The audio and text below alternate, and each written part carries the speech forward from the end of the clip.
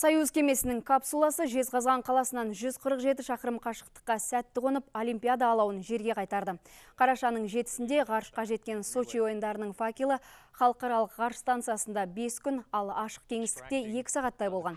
Оны жерге ғарыш бекетінде 166 күн жұмыс істеп, миссияларын ойдағыдай орындаған ресейлік космонавт Федор Юрчихин, америкалық астронавт Карен Найберг және италиялық Лука Пармитаны алып келді.